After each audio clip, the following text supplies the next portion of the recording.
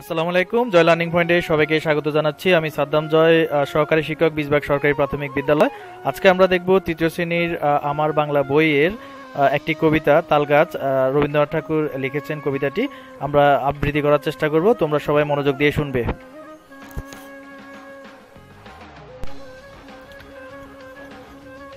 তালগাছ রবীন্দ্রনাথ ঠাকুর। তালগাছ এক পায়ে দাঁড়িয়ে সব গাছ ছাড়িয়ে উকি মারে আকাশে।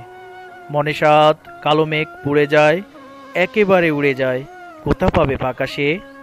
তাই তো সে ঠিক তার মাথাতে, গোল গোল পাতাতে ইচ্ছাটি মেলে তার।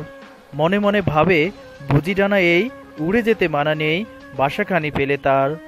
সারাদিন জ্বর থরথর কাফে পাতা পত্তর উড়ে যেন ভাবে ও। মনে মনে আকাশেতে বেরিয়ে, তারাদের এড়িয়ে যেন কোথা যাবে ও। তারপরে হাওয়া যেই নেমে যায়, পাতা কাপা থেমে যায়, ফেরে তার মনটি। যেইভাবে মাঝে হয় মাটি তার, ভালো লাগে আরবার পৃথিবীর কোনটি। ধন্যবাদ সবাইকে। সবাই সুন্দর করে আবৃত্তি করার চেষ্টা করবে।